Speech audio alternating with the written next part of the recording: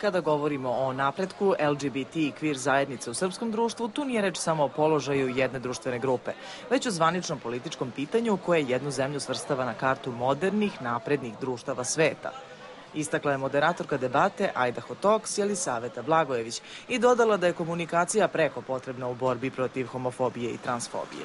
Da prevaziđemo taj, kako bih rekla, dozvolite me, kažem, primitivni moment da to što se razlikujemo jeste zapravo motiv za neko nasilje i neko apsolutno nerazumevanje. Ne, kao što znamo, različitost i neslaganje je zapravo motiv za komunikaciju uopšte i to je tekovina kako komunikacija je nešto što je jedna od najznačajnijih tema 21. veka.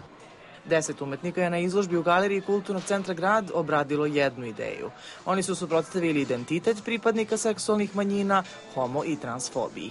Iz ubeđenja da su kultura i umetnost moćne, ali nedovoljno korišćene za sprovođenje različitih društvenih promena, osnivači ovog kulturnog centra su se priključili ideji o obeležavanju 17. maja.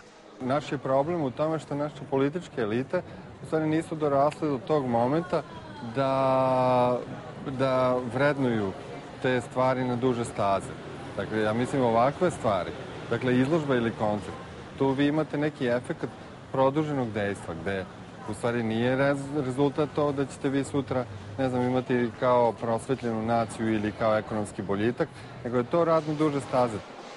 Međunarodni dan borbe protiv homofobije i transfobije obeležava se širom sveta na dan kada je 1990. Svetska zdravstvena organizacija skinula homoseksualnost sa liste mentalnih poremećaja.